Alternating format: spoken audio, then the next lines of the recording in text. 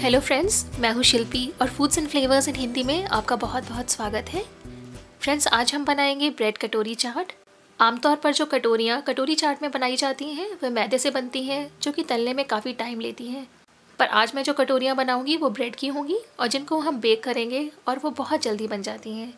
फिर हम इन कटोरियों को तीखी चटनी और सब्ज़ी से भरेंगे, जो खाने में बहुत ही मज़ेदार लगती है। कटोरी चाट बनाने के लिए सबसे पहले हम कटोरी या कप बनाएँगे।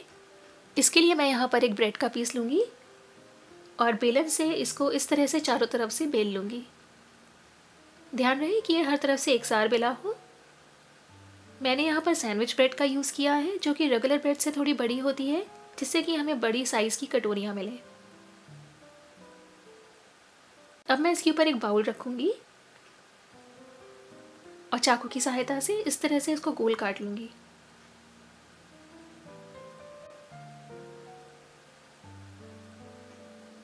अब इस तरह से मैं और बाकी सारे ब्रेड पीसेस काट लूँगी। अब मैं एक मफ़िन ट्रे लूँगी, जिसको कि मैंने पहले से ऑयल से ग्रीस किया हुआ है।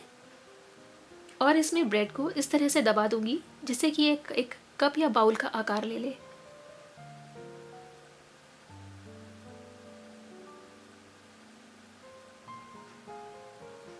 इस तरह से मैं बाकी ब्रेड स्लाइसेस को भी मफ़िन ट्रे में लगा लूँगी। और अब मैं इनको अंदर से थोड़े से तेल से ग्रीस कर दूँगी। और आइए अब हम इन कटोरियों को बेक करते हैं। इसके लिए मैंने यहाँ ओवन को 350 डिग्री फ़ारेनहाइट या 180 डिग्री सेंटीग्रेड पर प्री हीट किया हुआ है।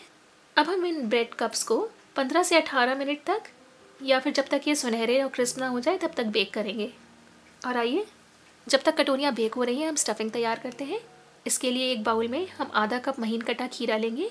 इसमें आधा कप उबला हुआ और महीन कटा हुआ आलू डालेंगे। आधा कप फ्रोज़न कॉर्नस लेंगे। मैंने यहाँ पर कॉर्नस को 30 सेकेंड्स के लिए माइक्रोवेव कर लिया था। एक चौथाई कप महीन कटी और बीजे निकले टमाटर डालेंगे। एक चौथाई कप महीन कटा प्याज। थोड़ा सा चाट मसाला। थोड़ा सा काला नमक।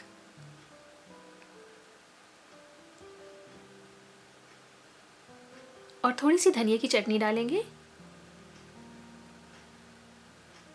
और इसके साथ ही हम इसमें थोड़ी सी मीठी चटनी भी डालेंगे। इन चटनियों की रेसिपी आप मेरे चैनल पर देख सकते हैं। और अब हम इस स्टफिंग को अच्छे से मिला लेंगे।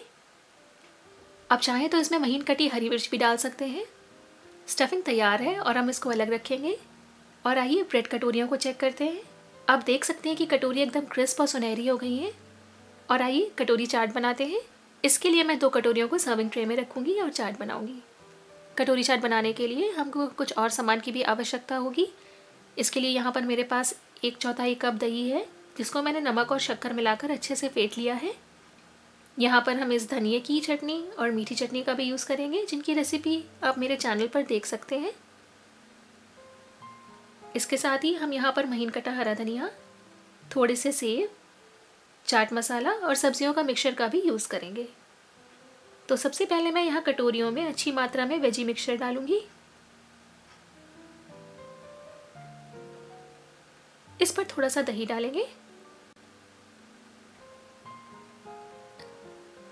थोड़ी सी हरी चटनी।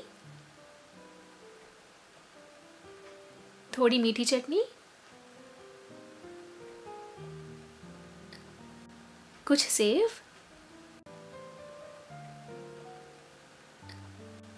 थोड़ी सी धनिया की पत्ती और चाट मसाला डालेंगे। इन कटोरी में वेरिएशंस लाने के लिए आप इन कटोरियों में आलू चाट, भेलपुरी फ्रूट चाट या चना चाट भी भर सकती हैं। कटोरी चाट सर्व करने के लिए तैयार है।